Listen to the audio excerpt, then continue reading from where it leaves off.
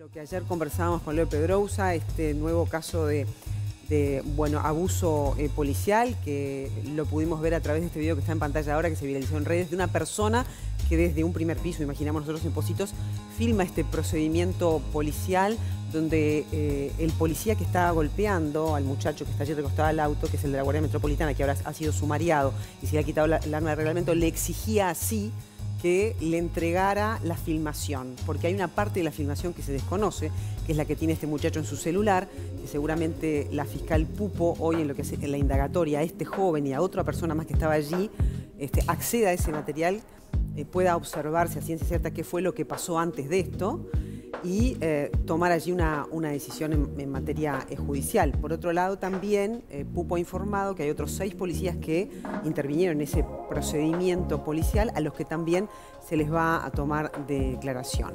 Y en un contexto donde el, sindicato, donde el sindicato policial sí ha, este, mediante un comunicado oficial, condenado esta, esta actuación policial que de ningún modo representa al colectivo de los policías.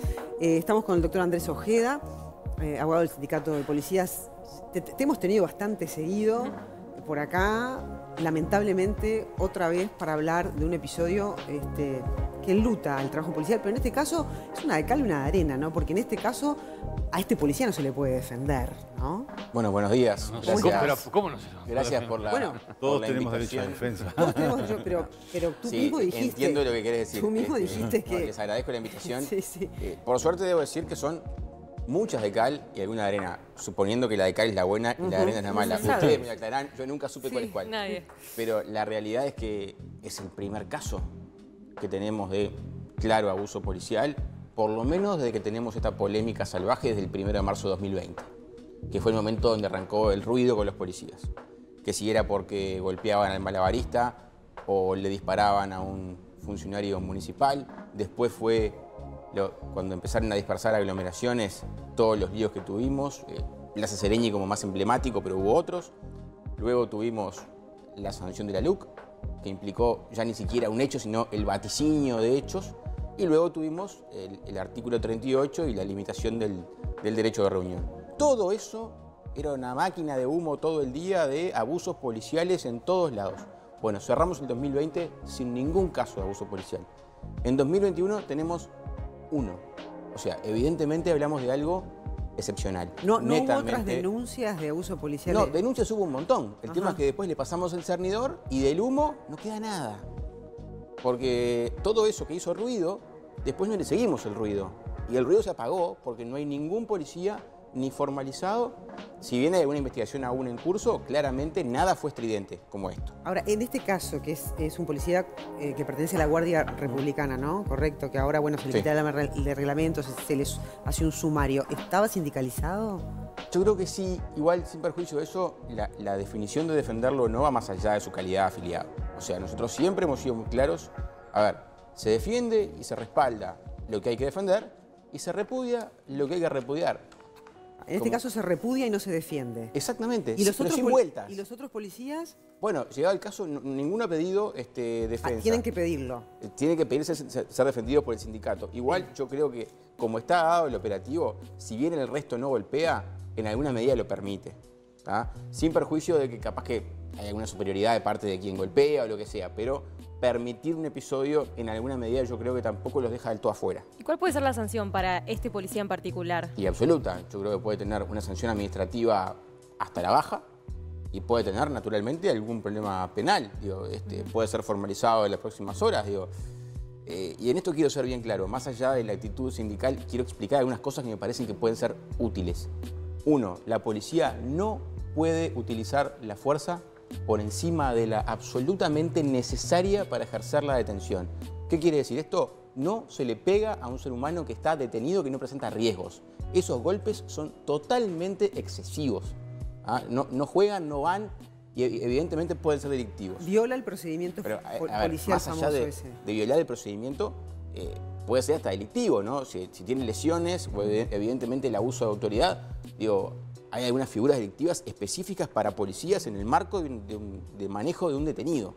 Y lo segundo que quiero decir que me parece bastante importante es, cualquier persona de la República está habilitada a filmar cualquier cosa que quiera, no hay ningún problema. No hay una prohibición. Puede filmar al policía en un procedimiento cuando quiera. ¿Qué es lo que no puede hacer? Agredirlo, insultarlo, obstruir el procedimiento. Eso no. Pero filmarlo no hay ningún problema. Y en ningún caso un policía puede obligar a una persona a borrar una filmación de su teléfono. Bueno, que eso fue efectivamente lo, que ocurrió. En estas imágenes, este, ¿qué otros signos hay de, violación del reglamento? No, a ver, una detención, no sabemos por qué llegó hasta ahí. Ahora, una vez que está ahí, detenido, lo que corresponde es el cacheo por las armas, por un tema de seguridad. El cacheo, un cacheo normal, sin, violencia. Sin golpe. Luego al patrullero y a la seccional. Comunicación a la fiscalía para dar cuenta de la detención y por qué se hizo y es el fiscal el que resuelve. Y se terminó. Y, el celular siempre eh, queda en propiedad. se, lo pueden incautar. se lo pueden incautar. Lo que no pueden es pedirle que borre algo. ¿Y se lo pueden incautar en base a qué? No, no, en, el caso. ¿Cualquiera no pueden incautar el celular? Cuando cualquiera lo detienen, por lo general le sacan las pertenencias, ¿verdad? Porque va seguramente a un carcelaje donde va sin nada, incluso sin sus cordones y, algunas cosas más. Eso queda en posición de la policía eh, en algún lugar seguro y pues cuando se, en su caso, pongámosle que no pasa nada, que se determina que se libere. En el mismo momento le devuelven el teléfono y lo que tenga. Lo, que yo no sé, capaz que no tengo la información, es por qué esa persona era detenida de esa forma. O sea, ¿había hecho algo previamente o simplemente estaba parado y filmó y como no gustó que filmara se lo detuvo y se lo cachea? Porque a cualquiera nos pueden cachar. Bueno, las detenciones en realidad, eh, a ver, una cosa es que a vos te paren y te cacheen porque tienen, algún riesgo de poder tener un arma o algo por el estilo. Formalmente las detenciones, a nivel constitucional al menos, tienen solamente dos razones. Una, flagrante delito, eso quiere decir, me agarran con las manos en la masa, llevándome la tele rapiñada bajo el brazo. Y la otra, orden judicial. Obviamente esto es lo más formal. La realidad es que hay este, detenciones, capaz que no llevando a, comisaría, pero sí detenciones, consultas. pero con el lucro no te pueden pedir la cédula, sí. La, cédula se puede pedir. Cosa es que te caché pero un... ya te pido la cédula y veo que sospechoso que puede estar un arma, te puedo cachar ahí en el momento. Por supuesto, eh, o sea, por, arma se puede cachar, no hay problema. Eh, el problema es detener, es trasladar a una comisaría y cachar es una cosa que puede terminar en el momento, perfectamente. Claro. ¿ah? Mi pregunta es esa, más allá de lo que se ve en el video, ¿puede ser también causante de delito el, tema de que me cacheen sin tener motivo alguno? No, no, yo creo que en la medida que no haya violencia, ahí no pasa tenemos, Que ser, tenemos que tener límites claros, ¿no? No puede ser que cualquier cosa que el policía haga sea delictiva. Acá porque tenemos una duda que no sé bien un, cómo... Un acto de violencia claro y excesivo, no es lo que siempre pasa. Si acá pongámosle que esto hubiera sido una dispersión de aglomeración en la cual las personas se resisten a, dispersarse, ellos pueden, en la discusión, ante la eventualidad de un problema, fijarse si tienen armas, mientras tanto no, no ejerzan mayor violencia. Incluso podría haber terminado ahí, podrían haber sido liberados en el momento. Eh, evidentemente igual, y aquí, aquí lo quiero ser bien claro, a mí no me importa si está detenido por la peor rapiña del universo. Esto que vimos no puede pasar con ningún detenido.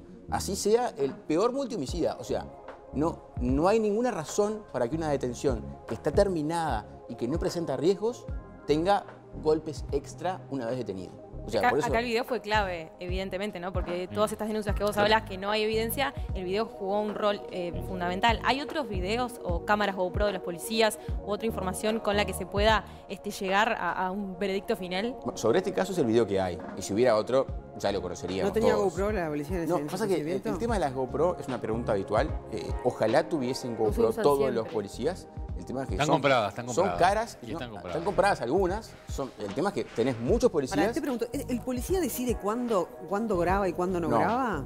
No. No. Eh, eso está, está eh, eso, está, eso, eso, está, está, controlado por un software. Capaz además, que este patrullero está recorriendo el barrio como.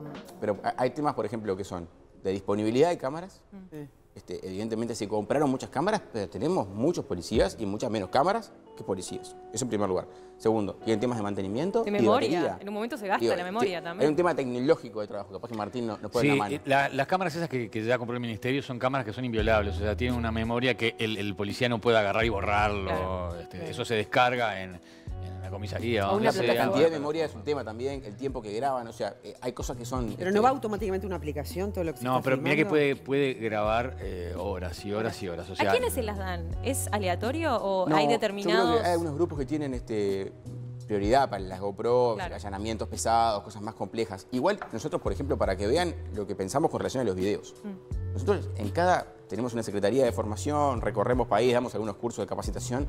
Siempre le decimos al policía que si la situación lo permite, firme con su teléfono, firme él mismo. Porque en el 99% de los casos, la filmación termina rescatando al policía. Y les pongo el caso de Rocha como ejemplo cercano. Si en lo de Rocha no hubiese habido una filmación como la que hubo, hoy todavía estamos en la competencia de relatos a ver quién hizo qué. Entonces, la verdad todavía, yo prefiero que haya filmaciones de todo el mundo. Andrés, justo que, pones como ejemplo lo de Rocha. Lo otro fue un buen ejemplo donde la, donde la policía este, saludó, digamos, lo que fue el fallo judicial y, y a las claras todos vimos que ahí hubo una agresión a, quienes nos cuidan, ¿no? que, son, los policías. Esto es todo lo contrario, ¿no? Vos me decís que no sabés si están sindicalizados los otros policías que participaron del operativo y si los tuvieran y si no piden. Es decir, ¿cuál es la autocrítica que se tiene que hacer desde el punto de vista a la interna del, sindicato por esta situación? y, actuado en forma clara el sindicato, digo, rápido. Acá se repudió la actitud y se dijo desde el primer momento que no iba a haber defensa. O sea, de parte de la, de la agremiación hubo una respuesta rápida y sin dos lecturas. O sea, en eso está claro. Ah, nadie está vacunado contra nada, vaya la redundancia de estos días, ¿no? La policía puede tener abuso. Yo no puedo decir aquí, jamás va a haber un abuso policial.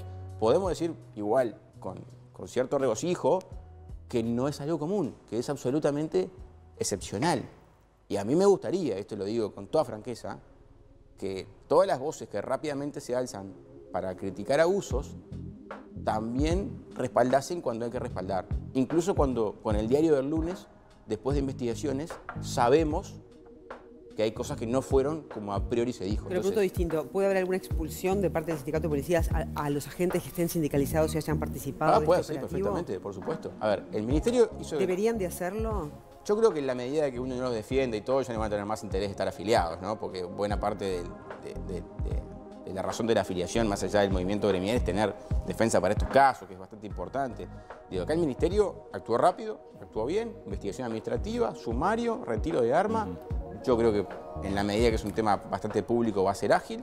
Calculo que tendremos novedades judiciales relativamente rápido, pero me importaba mucho destacar estas dos cosas. Lo que no se puede hacer en una detención y nadie debe tolerar, la libertad en cuanto a las filmaciones y que cuando se tiene que repudiar, se repudia, porque como decía mi amigo Claudio Romanov, la, coherencia no es una virtud. Entonces tenemos que salir cuando tenemos que salir. ¿No debería de ser esto entonces este terreno abonado para aquellos que están en contra de la LUC en materia de las medidas vinculadas a la seguridad? No. Y al contrario, yo creo que en la medida de que los actores involucrados, ministerio, nosotros, hemos sido claros al poner los límites donde van, esto demuestra que no se defiende todo, que no se es obsecuente, que no se es corporativo, sino que todo lo contrario. Cuando es, es y cuando no es, no es. El tema es dónde trazamos las líneas. Y fue reconocido por todo el sistema político, o sea, eh, el repudio y la señal clara que dio este, el sindicato policial. No, ni hablar.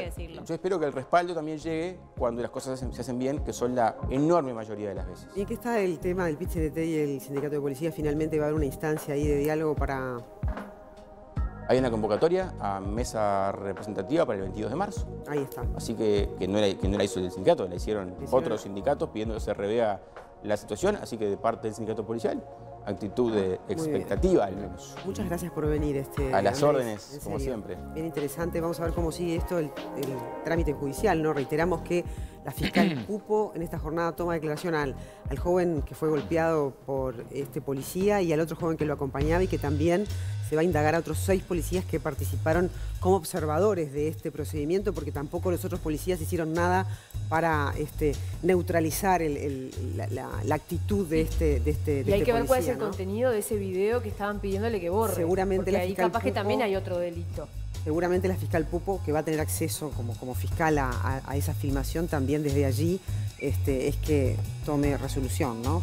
por lo menos pida determinada condena para este trabajador que ya a niveles administrativos se le ha retirado el arma de, reglamento y se le ha sumariado, ¿no? Esto es una señal también del Ministerio del Interior que se decidió rápidamente no solo notificar a la Fiscalía, sino también tomar estas acciones para con este eh, trabajador. Bueno, muy bien.